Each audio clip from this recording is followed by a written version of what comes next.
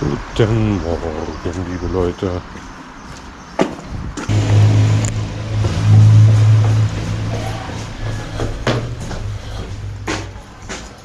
Als erstes der Kaffee, ist ja klar.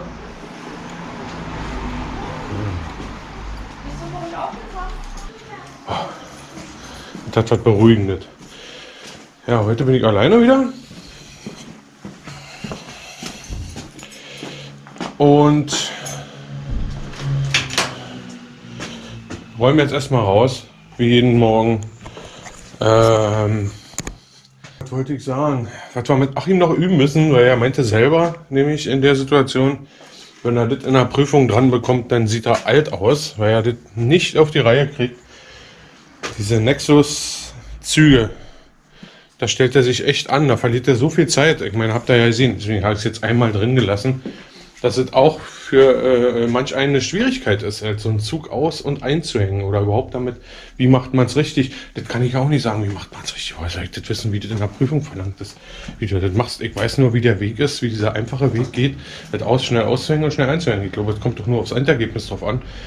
Und ähm, deswegen, also äh, ich werde ihm irgendwie mal ein Laufrad geben, wo er das echt üben kann. Also das ist nicht alles so einfach, wie es aussieht, sondern alles kommt nur durchs Konditionieren. Immer wieder üben, üben, üben, üben, üben und auf einmal bop, bop, bop. Ach, geht ja ganz einfach bop, bop, bop. Und dann machst du das im FF, aus dem FF heraus sozusagen. Ich packe alles raus und dann schauen wir mal, wie es weitergeht. Jetzt, äh, was als erstes kommt. Wahrscheinlich Wolfgang als erstes mit den Nachrichten. Und dann, ja, das war uns überraschend. Das Rad hier ist verkauft, übrigens. Ja, das ist verkauft. Also da habe ich ja gestern, leider, leider war die Kamera, die Karte voll. Ich habe gestern eine Stunde circa mit Achim zusammen die Sattelstütze rausgeastet, die hier drin war. Und die war nur bis hier. Die steckte nur bis hier drin. Aber das Stück, das hat circa eine Stunde gedauert. Immer wieder so geknarzt, gequietscht. Die haben die Sattelstütze meines Erachtens eine Nummer zu groß hier reingebolzt. Also 0,2 mm zu groß. Und richtig rein, bum, bum, bum war. Das war ein Quark. Also anders kann ich es mir nicht erklären, weil der Sattel ist hier, die Laufräder sind hier, also Laufräder sind da auch zu, da. Ich habe das nur alle ausgebaut, damit ich es besser hier einspannen kann in den Schraubstock und dann eben gut bewegen kann. Deswegen hat sich das alle zerlegt, der normal ist. Ja. Ja, und das Kühnerste haben wir gestern fertig gebaut. Das ist ja ein Rad, was wir bekommen haben als Spende sozusagen, was defekt war. Kettenradgarnitur war defekt. Haben wir eine gebrauchte angebaut. Äh, Gänge wieder gangbar gemacht und jetzt kann das auch wieder in Verkauf. Hört sich erstmal alles sehr erfolgreich an, bloß die Sattelstütze finde ich jetzt nicht, die hätte ich euch ja eine neue Zeit. Weiß ich nicht, keine Ahnung. Weiß echt nicht, wo die sein soll.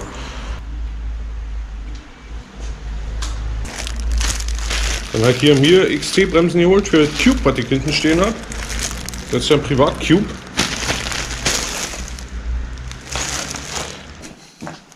Also kommen die Bremsen erstmal hierher. Bevor sie vorne geklaut werden, dann kostet noch 200, 200 Euro. 200?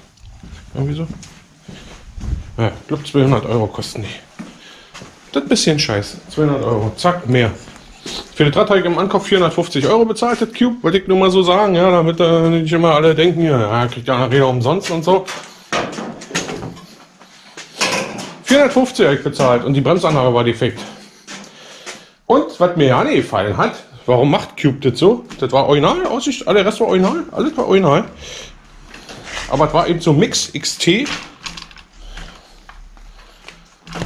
Und die Bremsen von Formula Warum auch immer. Keine Ahnung. Und die Schalthebel von Deor, einfache Deore Schalthebel, konnte ich natürlich auch nicht ertragen. Deswegen hatte ich denn mal schon, achso, hier ist es, ich sag's erstmal im Ganzen. Ne, Cube Limited, also LTD, ist ein Damenrad, klar. Und ich habe es jetzt komplett auf XT umgebaut. Also sprich, ich habe jetzt die, die Schalthebel geholt mir, XTs, und habe jetzt die äh, Bremshebel einzeln, auch XT geholt. Und damit das komplett XT ist, dann kann ich es nämlich als komplett XT verkaufen, Fragezeichen, vielleicht auch einfach nur stehen lassen für schlechte Zeiten und äh, wenn Anouk mal groß genug ist, kann sie einen 26, 26er Cube im Bestzustand mit kompletter XT fahren. Und das ist ja auch hier ähnlich, das ist ja hier mit dem Scott hier vorne, was verkauft ist, das hat eine komplette XT drauf, war, bis auf die Narben, glaube ich. Und die Schalthebel wieder, da sparen sie. Also hat eine XT Kettenradgarnitur, hat XT Bremshebel, hat XT Bremsen. Das ist schon mal alles ganz geil.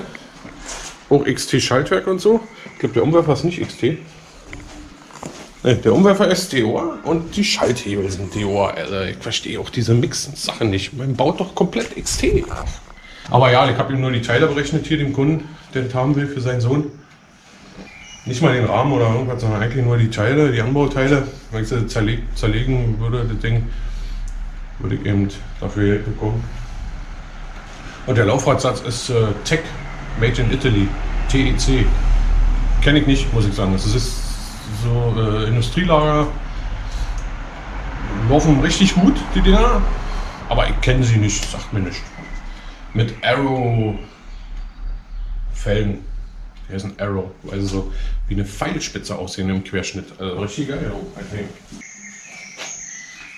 Habe ich auch noch nie gesehen so. So richtig auseinanderhängen, Arrow, Arrow, Alaba. TEC Components Italy. Ohne Makel. Ohne auch nur, dass du merkst, dass da irgendeine Kugel läuft oder so laufen die. Er merkt echt nichts, kein Rollwiderstand, nichts, gar nicht. Das ist echt der Hammer. Ja, ich recycle die Pappkartons, hier die Verpackung von den Schläuchen, weil ich die als Schmierzettel ja neu brauchen kann.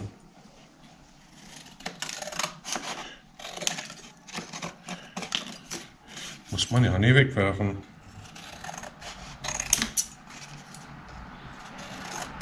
Ja, ja, der dumme Ossi.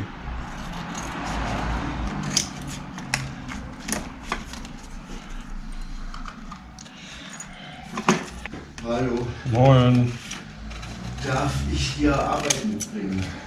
Weiß ich nicht, was hast du denn? Also hier ist, äh, zu Hause habe ich ein Fahrrad, da ist äh, vorne Reifen flicken oder auswechseln. Ja. Ich habe keine Zeit zur Zeit und keine Lust, das an, äh, selbst zu machen. Ja, kein Problem. Und hier? Hier ist die, die äh, Schraube von der Stütze, die ist irgendwie lose und die ist so komisch. Ich bräuchte da so einen gebogenen Inbus, um die festzuziehen. Okay, guck ich mir gleich mal an, oder? Ja, mal eben mal schnell. Ein Ständer vom Pfennigland. Jetzt weißt du auch warum. Wollen wir mal so ein Fachvideo wieder machen? Ich weiß ja auch nicht.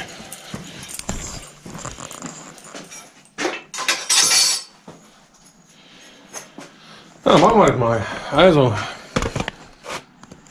Ach, und danke für das Angebot mit dem Licht und so. Da war ja auch einer mit dem Licht.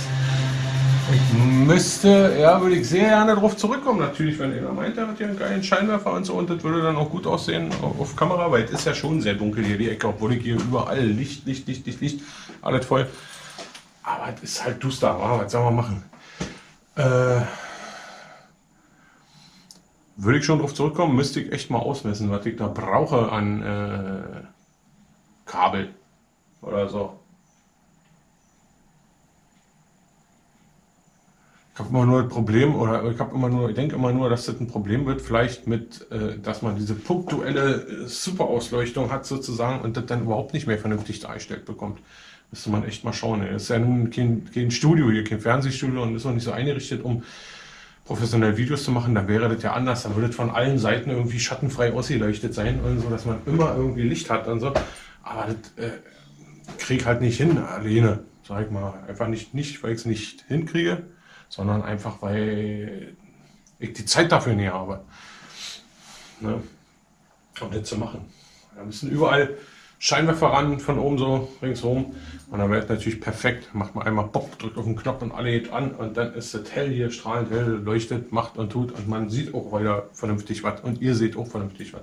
Wäre vielleicht mal eine Maßnahme für den nächsten Winter, dass man sowas macht, aber noch komme ich nicht dazu.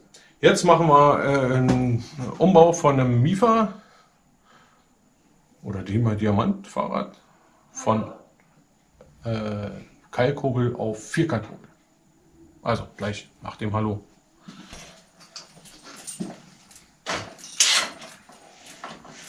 Kurzer Zwischenstopp, vorher noch das hier. Die Kinder oben sind eine Vollkatastrophe. Mhm. Die schreien sich nur an gegenseitig. Die schreien sich.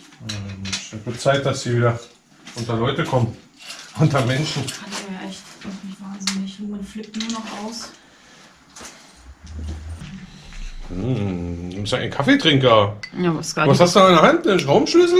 Wow. Kaffeepause gerade. Ja, das So, ist toll. äh, Super. Guck mal, jetzt ist es Schraubschluss. Schraubenschlüssel, ja, ein bisschen, ein bisschen Fett und ein bisschen Schmierstoffe und ein bisschen Eisen und so. Das ist ganz toll. Gib dir was mit Kauknochen. Hey, Ja, bitte? ich hätte einen Platten und wollte fragen, ob ihr das machen könnt. Gleich, bin gleich da. Danke.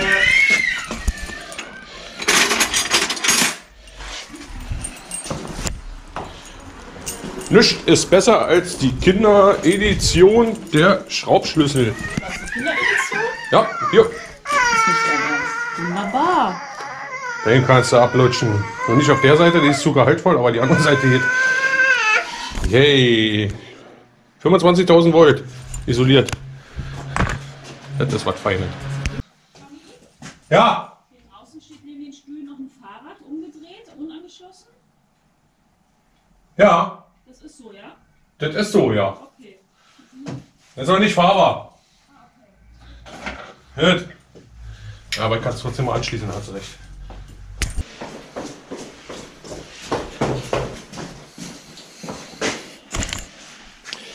Oh ja, das ist eine Kundin, der haben sie das Fahrrad, die hat vom Bauhaus ihr Fahrrad abgeschlossen. Und da haben Diebe jetzt versucht, aber haben Diebe erstmal ein Billigschloss rangemacht. Einfach so, gelockt, bupp. So, damit sie nicht mehr weg, weg, weg kann. Einfach hier ein Schloss drum gemacht. Ne? Das machen die gerne mal, beobachten dann, wer ist denn das, wem gehört denn das Rad? Und dann kommst du raus aus dem Bauhaus, siehst, oh scheiße, mein Fahrrad ist ja so angeschlossen mit einem fremden Schloss, was mache ich jetzt? Gehst los. Vermutlich gehst du ja zum ersten Fahrradladen, der irgendwo, dann haben die noch mal eine Viertelstunde, 20 Minuten Zeit und so und gehen dann, wenn sie gesehen haben, wer du bist, ob sie sich mit dir anlegen können, ja, zartes Persönchen, ne, junge Frau, gehen sie dann hin und fangen an, das Schloss zu knacken oder das Rad eben wegzutragen. Das Problem. Deswegen habe ich zu ihr gesagt, jetzt gehe ich schnell zurück zum Bauhaus. Aber sie hat es clever gemacht. Sie hat es einfach weggetragen nochmal und hat es nochmal an einen festen Punkt mit ihrem dicken Schloss angeschlossen. Also das hat sie gut gemacht. Weil das Rad war erst nur in sich selbst gesichert, was man sowieso nicht macht. Schließt es fest an, an einen festen Punkt. Könnte sie Glück haben, dass es noch da ist. Wenn nicht, dann war's das. Tja, ich habe jetzt hier gerade äh, Tretlager gewechselt bei dem guten Stück. Das habe ich in zwei extra Videos gepackt. Der Ausbau, einmal der Ausbau, einmal der Einbau. Und äh, hoffe, ihr seid jetzt nicht sauer darüber, dass ihr das euch extra angucken müsst, wenn es euch interessiert. Das habe ich aber gemacht für Leute, die eben wirklich nur das interessiert. Die sollen auch wirklich nur das sehen und nicht den ganzen anderen Quatsch, wie ich früh morgens aufstehe, ungewaschen sozusagen, Haare zerzaust, nicht geschminkt für euch und so. Das müssen, ja- müssen die Leute ja nicht sehen, die einfach nur sehen wollen, wie ein Tretlager zu wechseln geht. Ja, wir machen weiter mit dem Blog und zwar gibt es noch viel mehr zu tun an dem Rad. Nämlich das die Klapper hier, habe ich auch schon in dem Video hingewiesen. Dem muss eigentlich nachgegangen werden. Das ist die Gabel, die hier völlig locker drin sitzt, warum auch immer. Das muss ich jetzt noch erledigen. Früher zu DDR-Zeiten war immer so an der, am Sattel so eine Tasche dran. In dieser Tasche war mal das passende Werkzeug dafür. Diese Tasche ist nicht mehr da. Das ist alles auch locker hier, alles so beliebig. Ich muss ich mal fragen, ob das überhaupt schon mal, ob das schon mal eingestellt wurde oder was.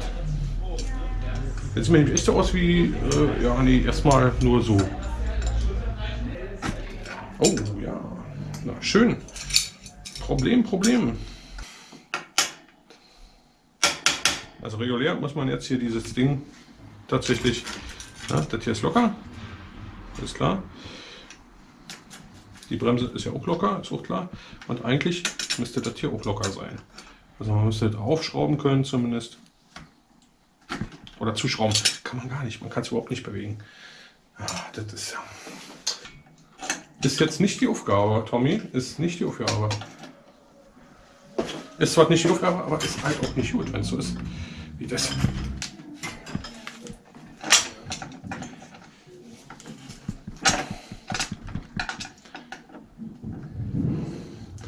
Mit viel Gewalt. Oh, es klappert nicht mehr.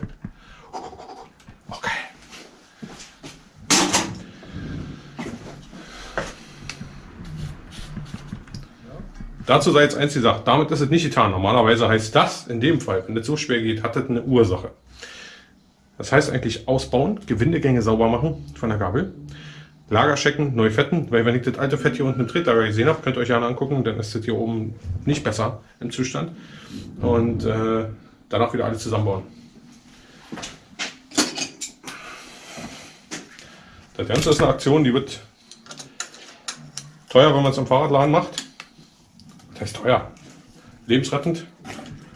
Aber muss halt bezahlt werden. Wenn man es selber macht, kriegt man das eigentlich auch hin. Ist jetzt nicht so was Großes, aber eben man muss im, im Laden muss man halt bezahlen. Da muss man 30, 40 Euro muss man rechnen dafür. Für so ein komplett ein Lager öffnen, fetten, pflegen und wieder zusammenbauen, einbauen. Läuft gut. Jetzt hier Lager einstellen schon. Läuft gut, fantastisch. Man kann es natürlich auch riskieren, es einfach so zu lassen und zu fahren. Würde ich persönlich nicht machen. Aber auch nur aufgrund des, da ich den Zustand kenne von dem, wie das hier drin aussah, in dem Lager. Ne? Der Rest sieht nicht besser aus.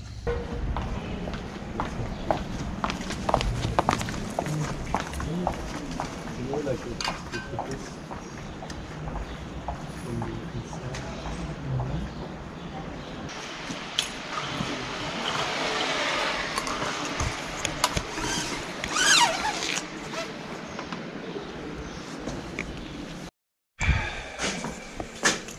Jacke verheißt das, aber.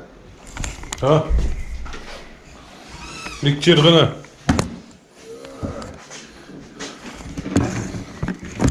Eine Stunde Arbeit. Hä? Eine Stunde Arbeit. Was? Den Sattel Die rauszumachen? Sattelstütze raus. Ja, was, der, Schwede. Wie ist das gekommen? Verkrümmt einfach oder was? Also, Ich glaube, die haben die eine Nummer zu groß drin gehauen. so, Also dann 0,2 einfach- Millimeter und dann die war ja nur bis hier, also nur bis hier Ja. drin. Ja, eine Stunde haben wir geastet. Alles auseinander, dann drin und Wie dir sagt, das Einspannen und Dings. wa? ja, ist natürlich durch die Stütze, also passt eh nicht drin. Kannst du nicht drin machen. Achso, muss man, kriegt man so eine Schmale überhaupt? Ja, klar, logisch. Wollte die vorhin mal ausmessen, habe ich aber nicht mehr gefunden. Effetibi. Effetibi? Kenn ich nicht. Schönes Rennrad auf alle Fälle. Ein sehr schönes Rennrad. Äh, Speiche gebrochen. Speiche gerissen.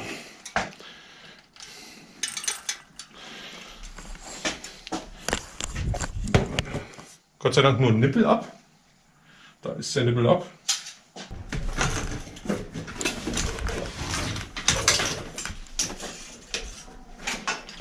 vorbereiten, denn alles sehr schön aussieht. Deswegen bin ich ja so am Basteln beschäftigt, Papa. Weil ich ja die, sein eigenes Haus bauen will. Okay. Verstehst du deshalb, warum ich so viel Karton brauche? Ja. Ich will ja die fröhliche Schönheit.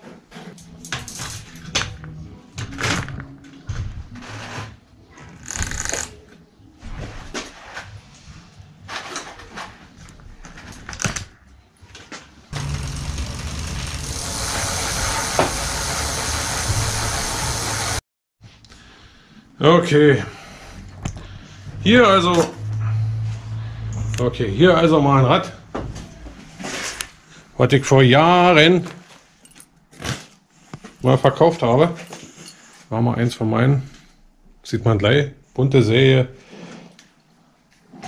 eigenwilliges Konstrukt. Genial hier mit diesem Unterfahrschutz hier fest angeschweißt. Rockring sozusagen oder Bashguard oder wie auch immer man das bezeichnet. Und äh, von der Firma Wetter, Vetter mit Oria-Rohr. Hier. Wirklich toll. Habe ich aufgebaut und dann verkauft. Und jetzt hat sie die gute Frau, die gute Frau Tretlagerprobleme.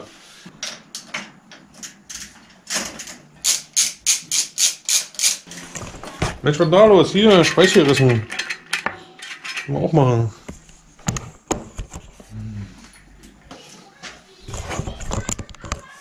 Die streiten da draußen, das ist unglaublich.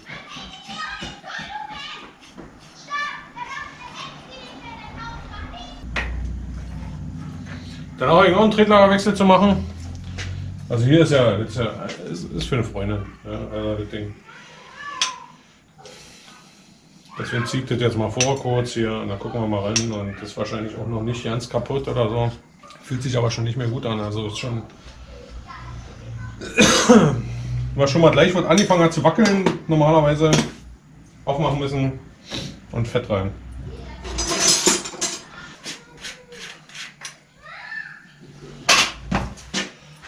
Hakenschlüssel.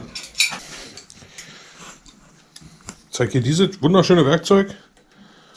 Jetzt setze ich hier an. Ah, ja, geht ja.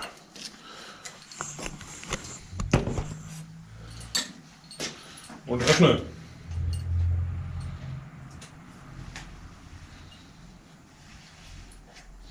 Und was sich jetzt zeigt, das wird sagen, da bin ich sehr gespannt, wie wir damit verfahren hier. Ja, sieht schön verdreckt, aber noch ganz gut aus. Natürlich hart. Das Fett da drin ist nicht mehr schön.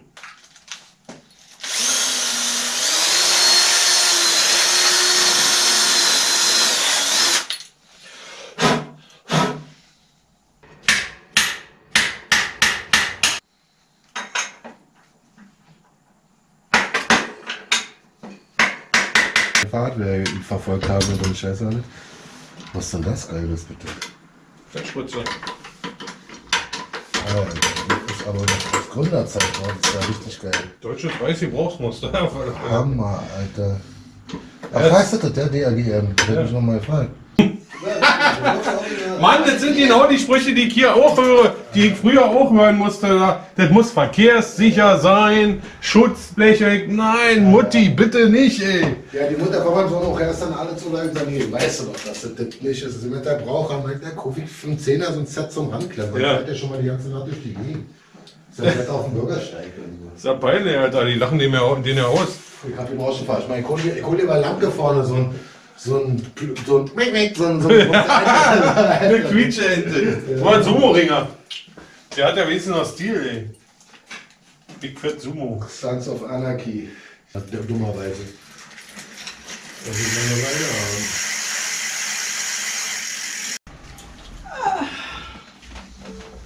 Ist gleich Feierabend?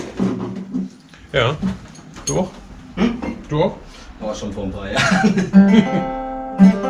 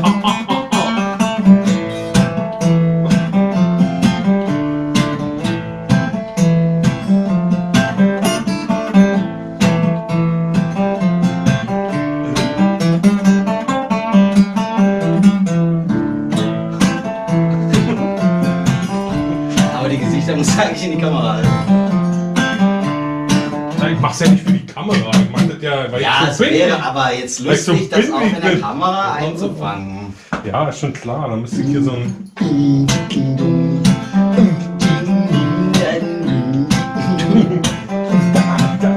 Warte, warte. Hillbilly-Chick. Ja,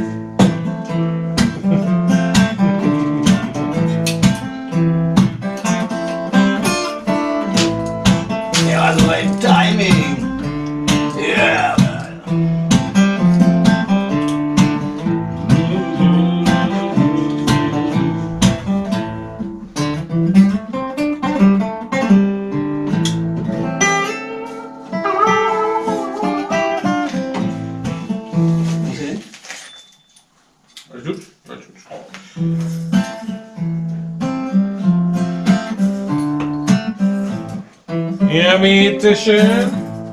Moin, Tommy. Guten Abend, Herr Müller. Kommen Sie rein, Junge.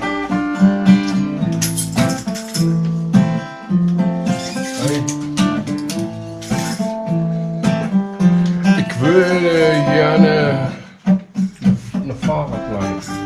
Ich hab keine mehr. Jetzt im Ernst? Alle weg? Ist nicht wahr. Konkurrenz. Dann bist du ja, bist ja, bist ja, äh, bist ja gut schon Nein, ich hab die verkauft. Ich verliere nicht mehr. Echt? Ja. Du hast zwei Räder von mir. Oder vielleicht hast du auch nur noch eins davon. Das weiß ich nicht. Aber benutze sie doch.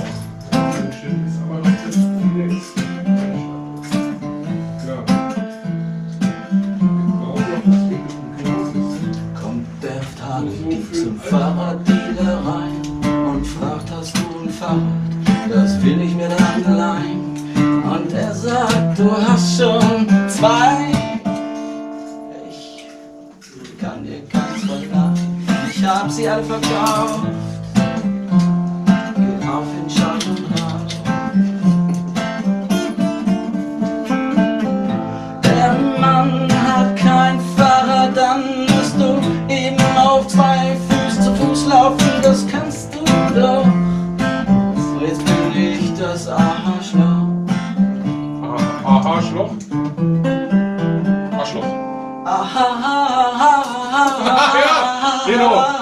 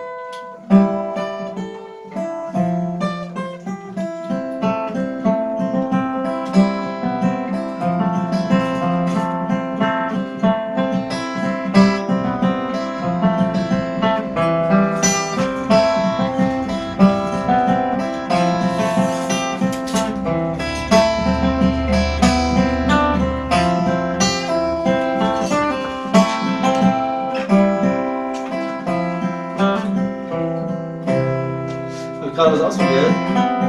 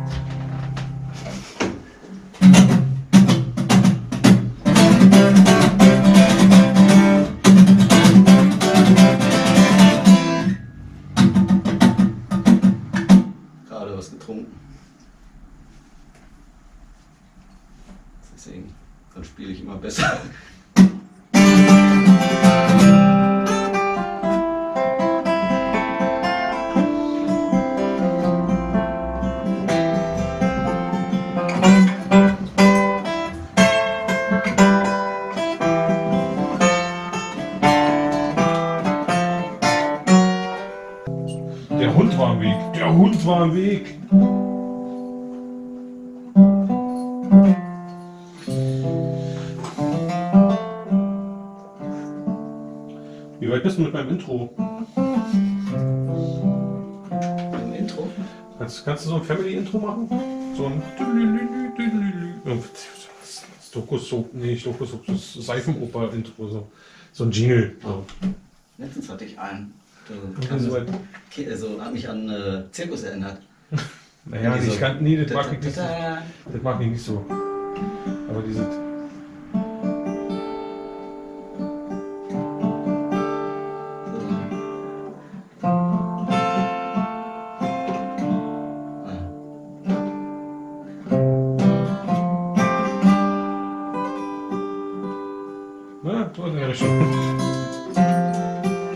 Lustige Gesichter so rein wie so. "Hm,